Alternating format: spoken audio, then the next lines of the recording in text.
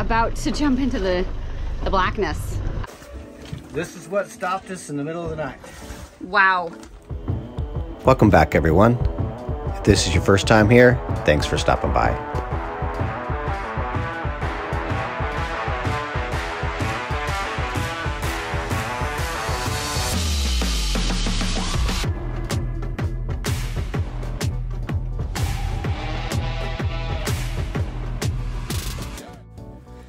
After a quick 30 minute fuel stop in Megisti, we keep heading towards Cyprus. We're starting off with the same wind we came in on, so Yeah. no reason not to just haul ass with it. Well, that was very successful. Yeah, it was. How did we do on fuel? Well, that was exceptional. yeah. Yeah. Yeah, we usually figured uh, three liters per hour, and we were closer to 1.75 liters per hour coming out. So Yeah. we had some good wind. We had some really great sailing, especially overnight. Sailing was really good overnight. It was great. Yeah. In fact, it was like a really great way. It was our very first overnight sail. It was beautiful. We've we've motored overnight Yeah.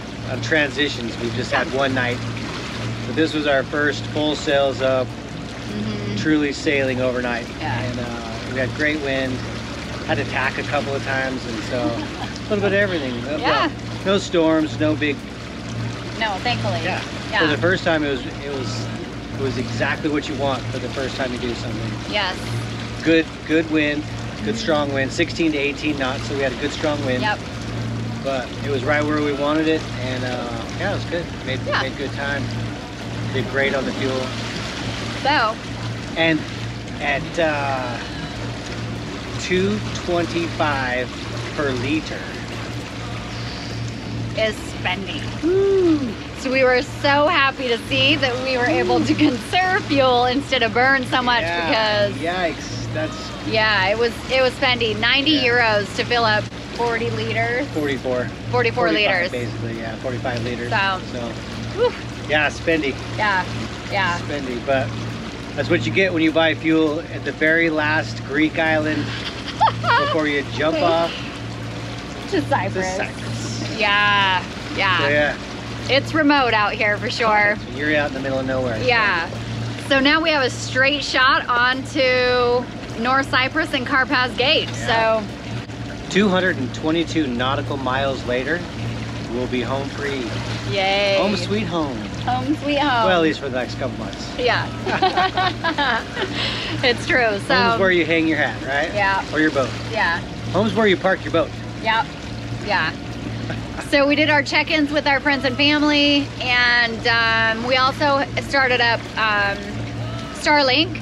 So we've been able to keep updated on the weather, the radar, check the Cape report, all of that, so that we know what to expect over Yeah. the next two days. Yeah. Because we'll be 50 nautical miles offshore, so there'll be no cell reception. no, Probably within the next, uh, I would say, six to eight hours, we'll be without cell reception. yeah, But uh, we've got the Starlink set up and ready to rock.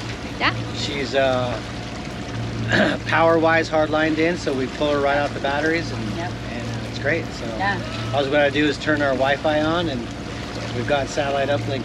For a quick check. So Yeah. yeah, pretty nice. Great. Pretty slick. Yes. So, on we go. Yeah, buddy. I Did you see the sunset? Oh yeah.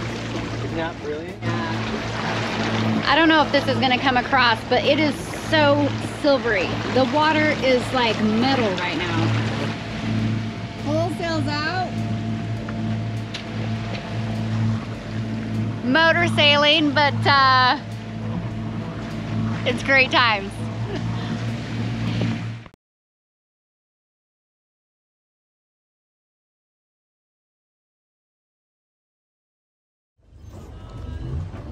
I was in a helm and uh, all of a sudden we had extra chatter from our engine and we don't know what's going on. So we're gonna try and stick the GoPro in the water and see if we can see anything on the prop potentially that we may have picked up that could have caused the shatter.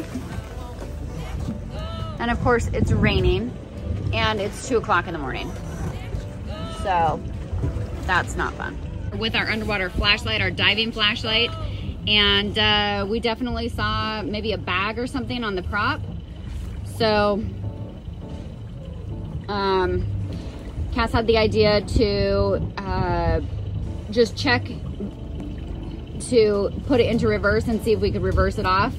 Okay, so Cass is all kitted up and he is about to jump into the, the blackness. Yeah, so what I've done just to help prep is um, we have a line right here that uh, he'll have. That'll be a hold. We are uh, not moving right now. We're basically 0.5 knots. We're in really not a great spot, um, but we're making do. So we have some serious swell right now. Um, he'll have the flashlight with him and uh, a uh, underwater knife here that uh, he will utilize while he's down there to cut the seemingly a bag we think is maybe wrapped around the prop. So we'll see what we can get. Using the weight belt to help uh, with the buoyancy. Obviously with the salt water, it's extra floaty and uh, wearing the neoprene full mill suits uh, definitely makes it even more floaty. So here's your here's your safety line.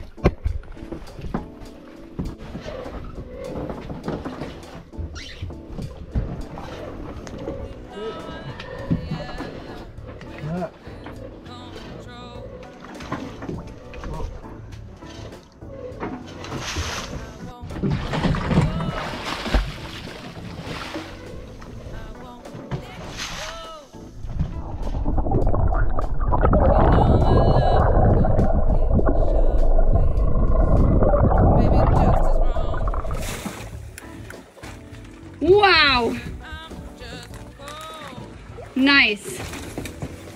That was fast. Well, so this is what stopped us in the middle of the night. Wow. That is a really big, nasty bag. Yeah, she's all done now though. Nicely done, babe. Okay. Thank you. Was a bit stressful. and that's a bit of an understatement. oh, goodness, yeah. So uh, we got the bag cleared out okay. We got the sails put back out.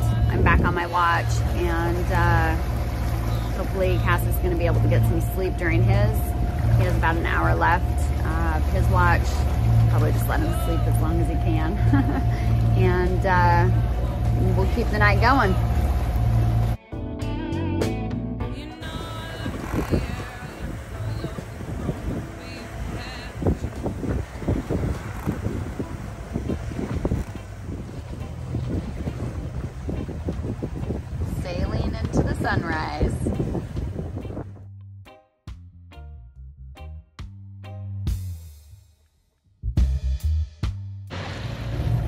Morning. So, this is the first for me ever. Looking around, all around the ship, there is not another piece of land, another vessel, any lights, anything. It's just the sea.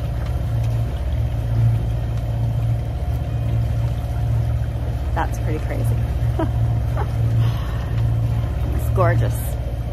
It, it's uh, it's it's a spectacular morning. After a honestly a pretty rough night. Um, yeah, yeah, that was that was a that was a rough night. so I'm sure there'll be lots of naps in our future today. and uh, yeah, making good progress. It's beautiful out here. Oh yeah.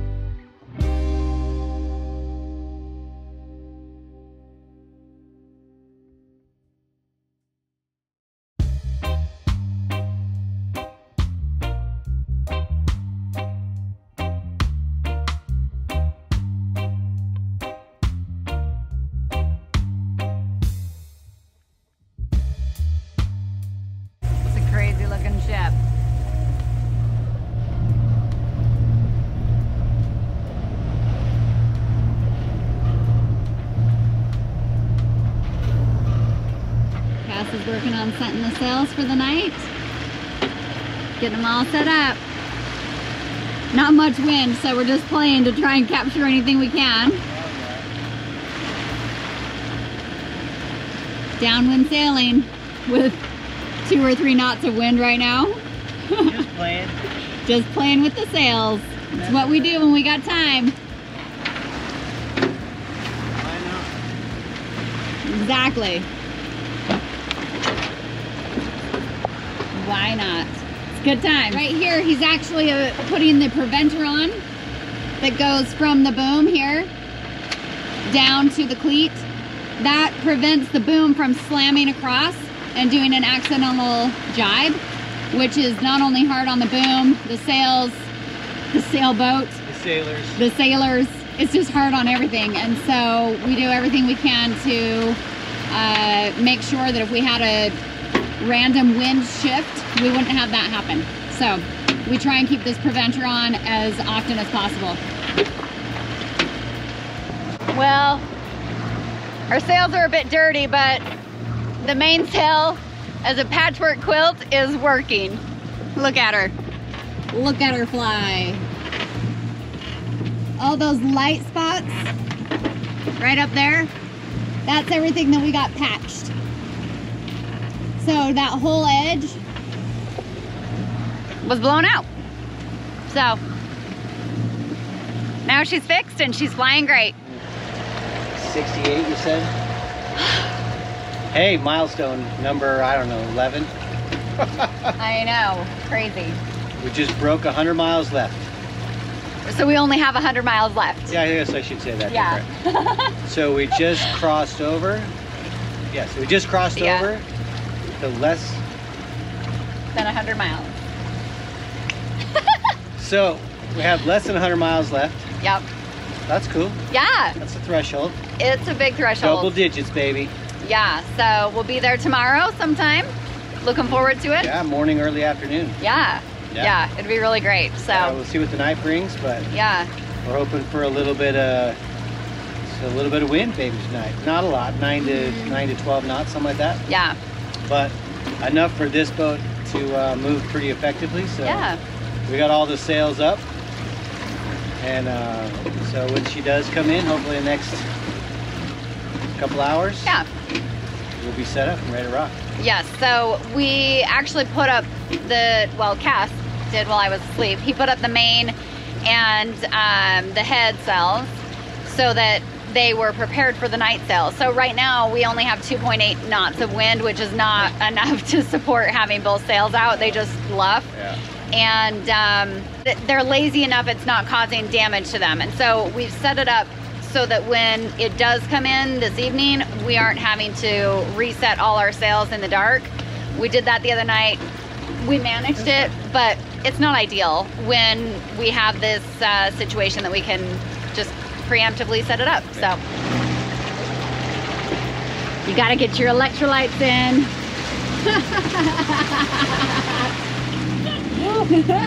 Tablet electrolytes added to water. Good stuff. It gets my fucker. It does. I know.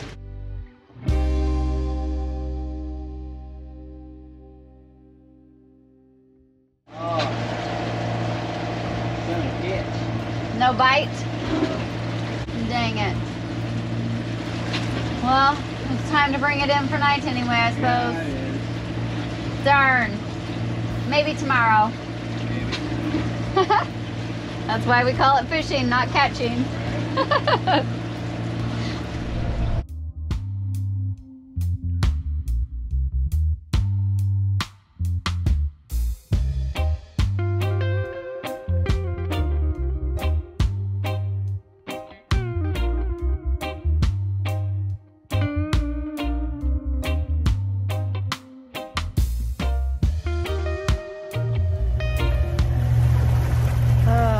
Last night, and it is a spectacular one. So the moon has not come up yet, and it is super dark, but the stars are spectacular. They're so bright. Orion is just right in front of us, laying down. It's just beautiful. The Milky Way is very visible. Just it's it's why we love night sailing. It's just it's it's no words. We love it.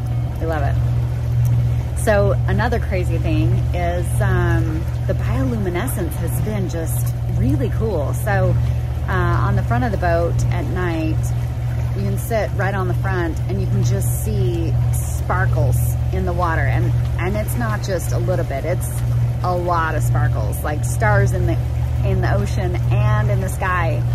So it's a pretty cool experience. I love it. this is awesome it's a great way to uh, end the season to have such beauty surrounding us with um, this epic night sail.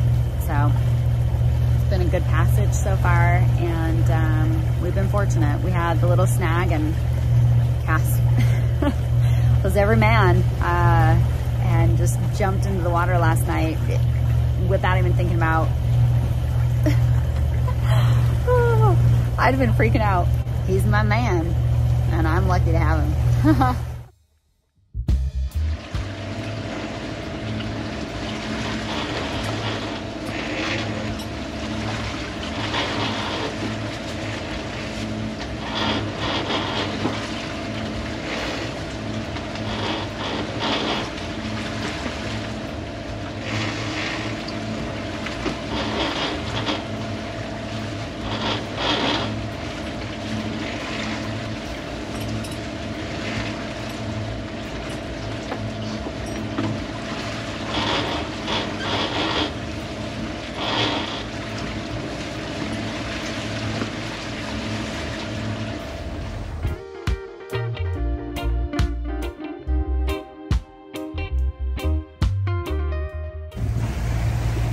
on our crossing in the last night and uh, we can now see the coastline of Cyprus. Pretty cool. It's uh, 12.45 a.m. and I'm on shift until 3. So here we go. We're rounding the corner to the last part and uh, pretty excited to get there it'd be nice to uh, have the sunrise and be able to see this coastline. All we can see right now is lights, so should be pretty interesting. Looking forward to it. That is Cyprus in the distance. Beautiful.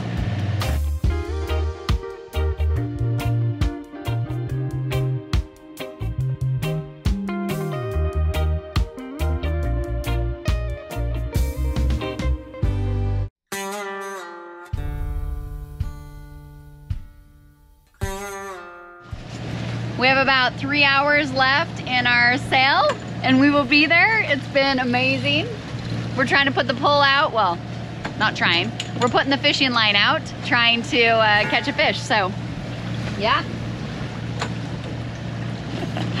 Hopefully we're more fortunate today.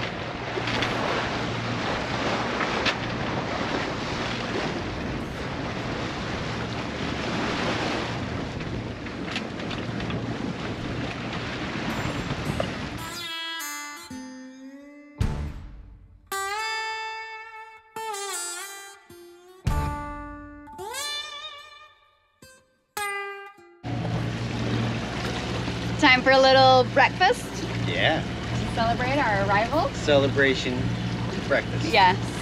Successful passage. Yeah. Good job. Good job. Feels great. Yeah, it does. Yeah. And what a beautiful morning. yeah, I'm gonna need my sunglasses. It's Does- bright. Doesn't get a whole lot better than this. Yeah. Great passage. Beautiful. Yeah. Yeah. I like it. Yep. So we're just uh, we've got two hours to go, and we're just jamming to some sailing tunes, Yeah. And uh, feeling pretty good. Yeah, we've got the Crosby, Stills, and Nash Yeah. Southern Cross. Lots of good ones. you know, Yeah. classic stuff. Oh yeah. We're classic. Timeless. We're from the 1900s. We're classic. we are. oh, cheers. Okay. Peace. Yes.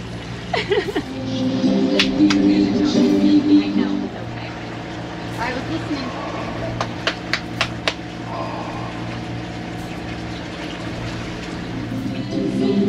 It's sunny.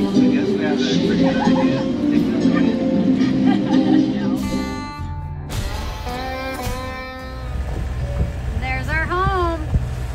This water is so clear and green and beautiful.